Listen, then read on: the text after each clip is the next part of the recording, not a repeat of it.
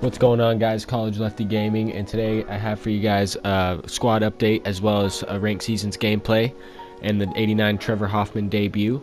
As you can see here, I'm at 80 percent of the Trevor Hoffman, or 85 percent. I uh, I also recently picked up Aaron Judge. I had about 220,000 stubs. Figured uh, Aaron Judge could possibly get an upgrade. He's hitting like almost 350 with a bunch of home runs and driving in a, a bunch of guys, so he's hitting very well could probably get a, a, contact upgrade. I don't think he's striking out as much this year as well. But um, if you take a look, I've completed all the the submissions. I would say the gold the gold missions and silver and bronze player missions. I've completed a couple team epics in the Tigers, Cardinals, and Seattle Mariners. I've also made progress on a couple other team epics like the Reds, the Twins, a few other ones working towards that five. Um, yeah, as you can see, I completed a few as we go here. Made some progress and just through grinding uh, these these recent programs that just came out on Friday. But yeah, take a look. Uh, I could go through some of these programs. I've made a lot of progress on some of these immortal cards, as well as uh, I've completed all the career arcs except for the the last stats mission with the diamond 89 Trevor Hoffman. So I figured I'd just get those through ranked seasons. You need like bunch of innings pitched, 20 saves, and a bunch of strikeouts as well. So figured out eventually just get those. But yeah, I kind of just go through all the team epics, show you what, which missions I have completed, which ones I haven't. Kind of just wanted to go through and check at the same time to whether or not I completed some of these as I was going. I still need a couple more wins in the event. I'm sitting at like 18 wins in the event. I need to get that uh, Wade Boggs as well as the, the uh, what is it? The Mother's Day. Yeah, the Mother's Day equipment. Today's Mother's Day, so yeah, the Mother's Day equipment item uh, pack or whatever. Hopefully, get those cleats. I didn't think the Didi Gregorius April Player of the Month card was worth it for me to lock in that that amount of stubs. I probably could have got him right when he came out. I could have bought the Albies and the Hader and and bought all the cards and locked them in. I didn't think it was worth it though. I figured I'd make my progress on some of the career arcs that they were going to release shortly after that. And I'm glad I did that because I think this Trevor Hoffman is going to be the best closing pitcher in the game. I, I did use him in this ranked seasons game coming up. He didn't pitch as much as I would have liked to just because of the way the game was. I didn't want to uh, use him too much because I want to use him as much as I can in games that really matter. So, so uh, yeah, I just want to show you guys some progress. I'm 80 um 80% of the way done with Piazza. 30% of the way done with Pujols is probably the least. I've least progress I've made on all the immortals. But if I complete these two stat missions right here, I can get the diamond one. And uh, look, i am looking to do that. Just gonna take me a little bit of time. I'll probably do that after I get to World Series, and if if I can get to World Series, I have a couple more games to play. As I'm in the DS right now, but uh, yeah, I have a couple more games to play to get there. If I win a multiple in a row, then I could get there and then grind for this Immortal Albert Pujols. But um, yeah, I finished all the I finished the Molitor program, which allowed me to get that to that gold Pujols at 30%. But yeah, this uh, this goose goose Gossage just needed t- about 10 more saves or 15 saves. I, I didn't quite see how many there were there, but once uh, once I get the Trevor Hoffman program done, I'll get the gold goose, and then I could probably work towards those saves more effectively online without having to grind versus the computer. Uh, that that Nolan Ryan, I just need his stat missions as well as this Tom Seaver Chipper Jones, I'm at 85%. Cal Ripken, I'm at 70. Just need the exchange missions. Bob Gibson, I'm at 60. And I'm waiting, really waiting for that Griffey. But I kind of went over those a couple times, went through through it all multiple times. Just wanted to show you guys that I had completed all these. But yeah, I mean, definitely as a grind, it got me to uh, about a diamond level, yeah, diamond level 54 so far, and I haven't done any collections. If I was to do some of those collections, like collect 25 players of each team, that would also get me more XP and, and I could rank up faster that way. But right now, I mean, there's no re- even reason to be a gold level. It doesn't matter if you're a gold level or not. It doesn't give you any advantage right now or anything. The only thing uh, I was doing this for was to get as much progress on these immortals as I could before some of these other programs drop because I think some of these last programs will be expensive to get. Um, if I'm just trying to get a head start as much as I can and have everything done so that way I can just try to build my stubs up. And that's the thing is I'm not locking any live series diamonds in because I'll be able to sell guys like Aaron Judge, Bryce Harper, uh, some other guys that I have on the bench or like that are on even in my squad, some golds like Cody Bellinger, some stuff like that. If I, if I have to sell those guys, George Springer, if I have to sell those guys in order to get like Immortal Griffey or someone else, then I'll definitely do that.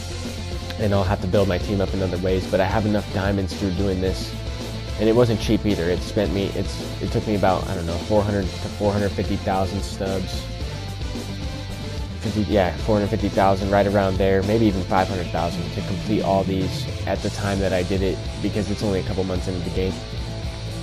But I really wanted to focus on getting these guys and and uh, yeah, and I mean here comes a. I'm gonna get into the gameplay pretty soon here. I just wanted to give you guys a backstory on the, the squad update, but we're gonna play this this game.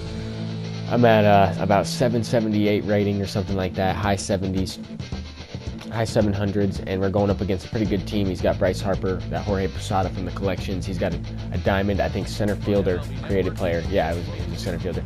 His record there, 131 and 96. So he's played a bunch of ranked seasons games on the season in only two months, which is that's quite a few games. Yeah, if you ask me, I've only played about 40 something games of ranked. I played probably, I've played mostly events. I played over 150 events games. Played a, a, probably a couple about 50 something BR games. So, I mean, I've played a good amount of games as well, just haven't played as, as many 9 inning games. But there to lead off the game there with Matt Kemp, laser beam one there off Chris Sale right to him. I kind of just wanted to show uh, a few pitches here. We, we're pitching with Don Sutton, who's I think is one of the best starting pitchers in this game right now. Aaron Judge on his debut. I, I used him in BR, and he was one of the reasons why I went 12 0 in that on that BR run. In there, I squared up that ball, just didn't get the didn't get the result I was looking for there. Hit it on the line drive right to center. But I, I did do really well with Aaron Judge. I was hitting about 500 with him, like seven for 5 or seven for 14, something something like that. Seven for 13, and Eh, with a couple homers and mostly extra base hits. So I figured he's pretty good. I'll put him in left field. I also have that Jay Buhner, so I just put him on the bench as a good bench bat for power versus both sides. But here we're just we're cruising along. We don't have a run yet. We, I don't even know if we have a hit, but I know he doesn't have a hit yet. And here's actually his first hit right there. I'm using more of a defensive-based infield. I got pretty much everyone with good fielding. My worst fielding is my second baseman, which is my creative player at like 85 or 86.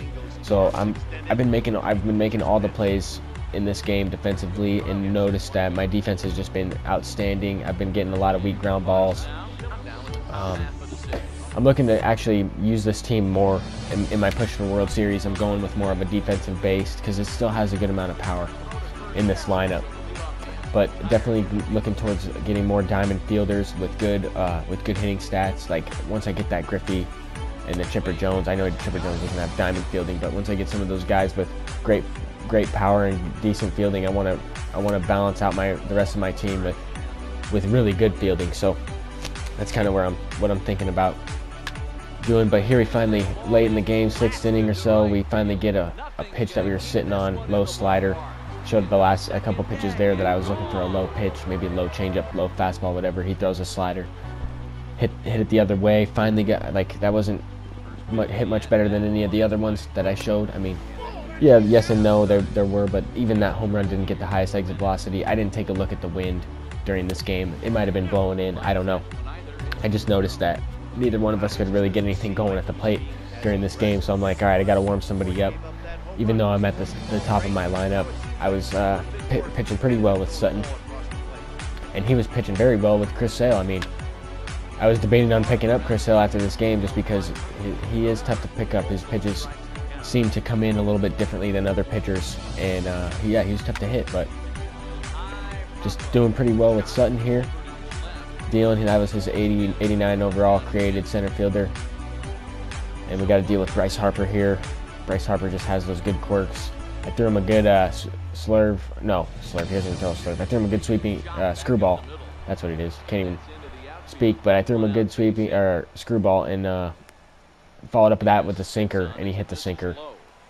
Bryce Harper has quirks against both of those guys, but luckily he's taken a lead through a couple pickoffs over there. And I was able to get him which is kind of stupid because he, he needs all the help he can get right now. Down one, he needs those, that base runner. This ball could have easily been a double in the gap. Uh, depends on if he was able to get Bryce Harper in scoring position. I don't know if he was trying to steal, whatever. But that changes the, the whole entire inning. Here, Bryce Harper comes up to the plate for us. Kind of thought I hit that one pretty decently. The feedback didn't really say didn't really say uh, that I did. It was kind of early and good. I thought I was pretty much right on that. I, I might have been a little early. It just that's what happened and, and grounded out into the shift. That was really all that happened that inning. But here's a great play by Ozzie Smith. I wanted to show you guys 99 fielding. Most most guys that's a base hit. Even with 72 speed, that's definitely a base hit. Uh, about I don't know seven seven times out of ten, depending on the fielder you have there. But here he brings in Mike Moustakas for Anthony Rendon late in the game, which is a good move. I mean, he's trying to get that lefty-righty matchup, and he goes against the shift. He was about a foot away from hitting a double. Instead, he goes against the shift still, hits the single, which probably would have been a ground ball right to Ozzie if he was playing at regular depth.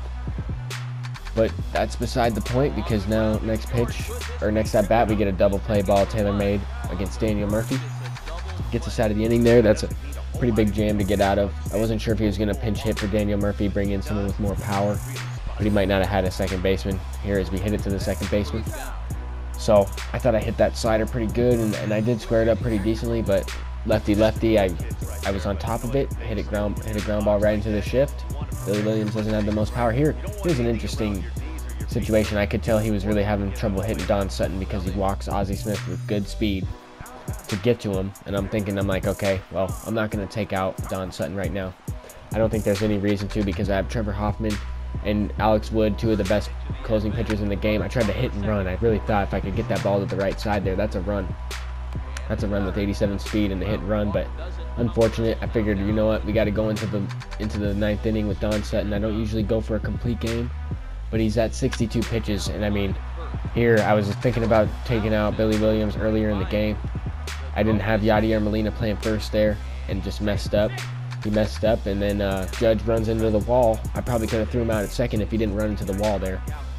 But just an unfortunate mistake there. Tying run gets on base in scoring position, and Ozzie Smith makes that play, saves the run probably. With a with a worse fielder there, he might have been able to score on that. I just don't know based on the animation I would have gotten. I don't. I'm not sure. Here we bring in Alex Wood.